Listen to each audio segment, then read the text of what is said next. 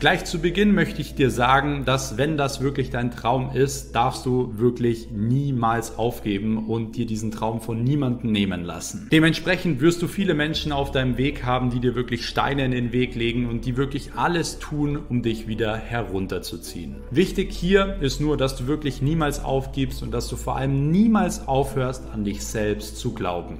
Mir beispielsweise wollte man mit 18 damals noch erzählen, als ich in der Schule war, ja, dass mein Traum komplett unrealistisch ist und dass ich das ohne einem Studium niemals erreichen werde. Und genau ein Jahr später hatte ich meine erste Million durch Social Media Marketing verdient.